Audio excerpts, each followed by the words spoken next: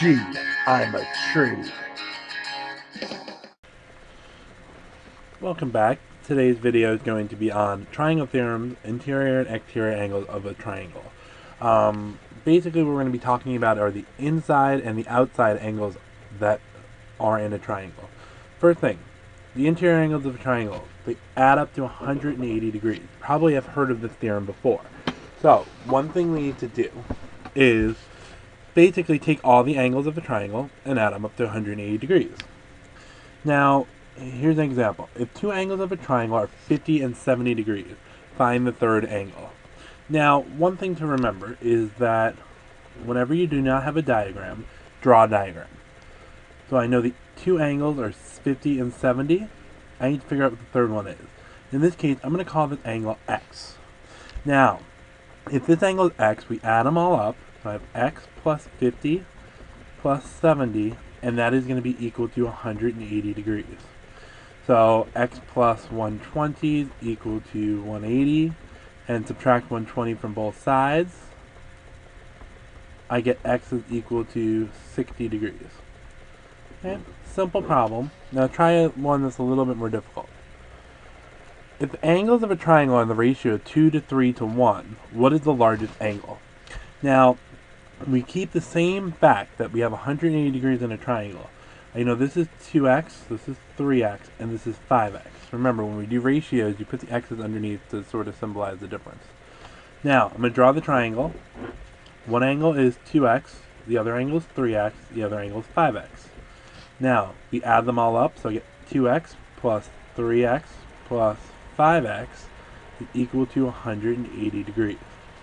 We add up all three angles equals 180. Now, I get 10x equals 180 degrees, and x is equal to 18. Now, be careful. This question is asking what is the largest angle.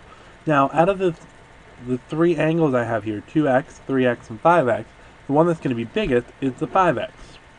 So we're going to plug in 5 times 18, which was our x value, and we'll get our final result of 90 degrees. Okay? Now, let's move on to the second theorem we're going to talk about. Exterior angle of a triangle. The exterior angle, exterior means outside. Okay? So, the outside angle of a triangle. Now, this is a sort of typical diagram you'll see. We have a line that's extended out this way. So, for example, I have call this A, B, and C, and I'm going to put a D out here. So basically, in order to figure out what this exterior angle is, this is angle ACD. So angle ACD is going to be equal to the measure of the angle A plus the measure of angle B. Okay? So whatever angle A is plus angle B. Okay? Now, let's take a look. So basically, the exterior angle is going to be equal to the sum of the two non-adjacent angles. Okay, here's an example for you.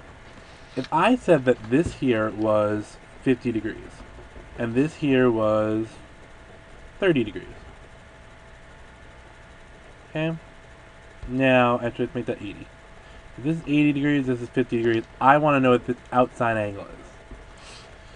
Now, we could figure out the third angle, and then we have a straight line that equals 180. You can do that, but otherwise, if I'm going to call this angle x, this is x is equal to 50 plus 80.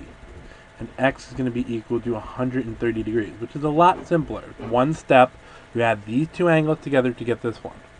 Okay? Um, if you have any questions or anything, you can feel free to contact me or leave a comment. Um, otherwise, I'll see you later. Have a great day. Bye.